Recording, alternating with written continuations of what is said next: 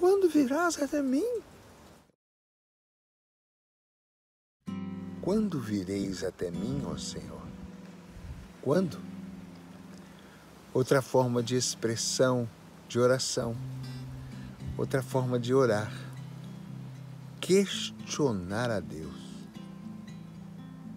Ou, se você preferir, cobrar a Deus.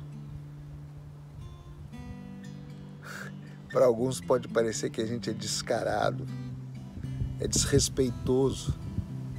Mas quando vireis a mim, eu tenho pedido, eu tenho orado, eu tenho insistido, eu tenho buscado, eu tenho batido a sua porta, eu tenho feito todo um esforço quando virás até mim.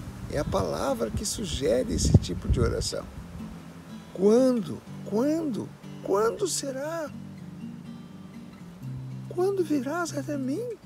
É uma reclamação. Orar é ir até o fundo, é escavar, é fazer a rapa do tacho e não ter mais o que pedir. Insistir, insistir, insistir, insistir e insistir até se esvair as forças. Quando virás até mim? Olha, me vê. Expressão doída de quem precisa muito. Jesus, eu confio. Jesus, eu espero. Mas é em vós. Glória ao Pai, ao Filho e ao Espírito Santo, como era no princípio, agora e sempre. Amém.